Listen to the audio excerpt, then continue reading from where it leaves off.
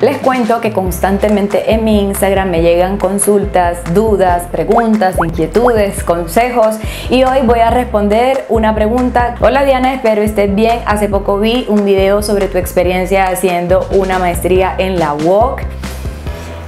Me gustó mucho tu video. Yo estaba pensando en hacer esa misma maestría. Bueno, te cuento.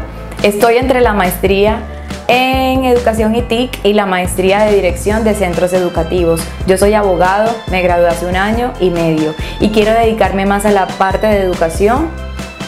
Actualmente doy clases de inglés también. Bueno, te escribo pidiéndote un consejo profesional sobre las maestrías. La idea es hacer alguna de estas maestrías y que me permitan estar en el campo de la educación, poder trabajar de docente. Lo de las TIC me llama mucho la atención, además veo mucho campo laboral, pero me da miedo que la maestría sea muy desde el campo de la informática. Si puedes darme algún consejo, te agradezco.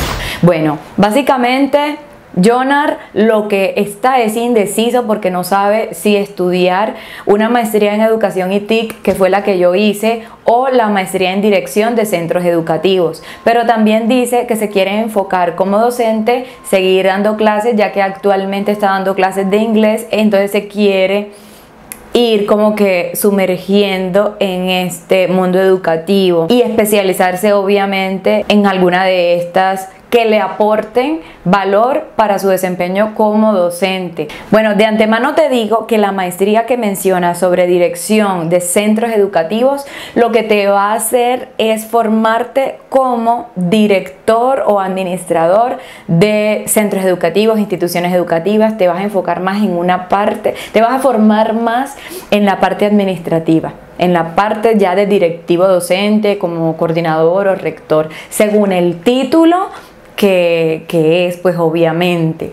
De todas maneras, tienes que profundizar y leer muy bien el pensum y el perfil profesional en el que te desempeñarías. La maestría en educación y TIC y learning te va a formar como docente si así lo quieres porque vas a tener cuatro líneas de enfoque o de especialización o de profundización como lo quieras llamar una es docencia en línea que fue la que yo hice eh, investigación diseño y dirección algo así entonces desde la maestría en educación y TIC te vas a enfocar mucho más en la educación. Y si tienes miedo en que sea informática, pues al ser una maestría virtual y al ser e-learning y al enfocarte en el campo educativo, digital, pues obviamente va a tener, de informática va a tener, porque recordemos que la informática es el tratamiento automático de la información, entonces todo va a ser con ayudas digitales, herramientas,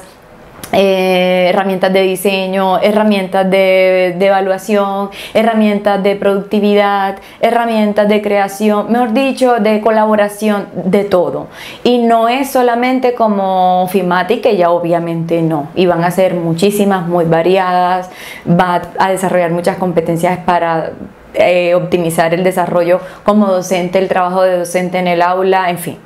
Entonces, si tú lo que quieres es enfocarte en la parte educativa como docente, la maestría en educación y TIC te va a encantar te va a encantar. Y como tú mismo lo mencionas, tiene mucho campo, además de que tú sabes que las TIC actualmente mm, están en todo, no solamente en la parte educativa. Y si te ha gustado la parte educativa, métete por ahí. Pero recuerda, debes revisar muy bien el perfil profesional de la otra teniendo en cuenta que ya desde el título nos da a entender que va a ser algo para administrar, un enfoque para administrar centros educativos. Esta la veo más si te gustaría dirigir centros educativos, administrar, ser por ejemplo un director, un coordinador, algo así. Bueno, espero haber resuelto tu duda, espero haberte podido ayudar y bueno, así como a todos, espero que de pronto también si tienen alguna duda o una inquietud y que quizás esté en mis manos darles una luz, un consejo, una recomendación. Eh, no soy la más experta de todas, pero obviamente la experiencia que tuve, la vivencia que tuve y al estar inmersa en todo el mundo educativo, en toda esta parte como docente también, les puede ayudar. Espero que, que les haya gustado y que no solamente les haya gustado el video, sino que les haya servido. Y acuérdense de que en Instagram, en Facebook y en todas mis redes yo también por allá interactúo y si me preguntan algo también voy a responder. Allá no solamente comparto cosas de educación, de TIC, de e-learning, sino que allá estoy compartiendo constantemente lo que hago, mi estilo de vida y pues obviamente eh, lo que me gusta. Nos vemos en otro video.